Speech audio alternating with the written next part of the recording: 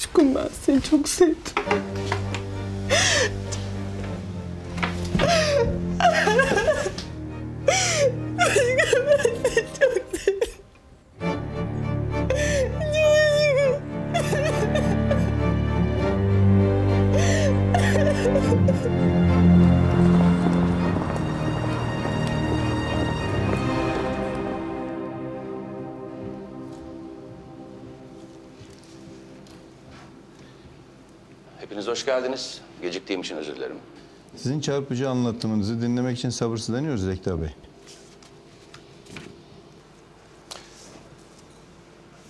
12 yıldır evliyim.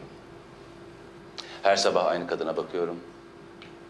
Ve her sabah beynim onun gözlerinin ardındaki anlamı bulmaya çalışıyor.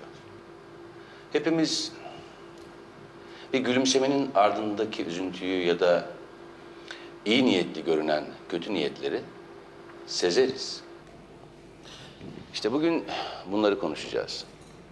Bütün bunları nasıl yaptığımızı ya da nasıl ve neden yapamadığımızı. İşte bu nedenle biz beyin bilimcileri bilinen evrendeki en karmaşık uzvun muhtemelen insan beyni olduğunu düşünüyoruz. Buyurun. Konuştuklarınızdan çıkardığım sonuç, insanoğlu empati kurmak ve başkalarıyla iletişimde olmak için tasarlandı.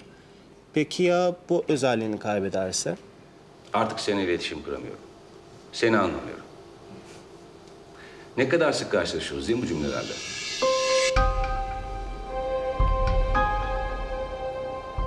Ben bunları evlendiğim günden beri duyuyorum.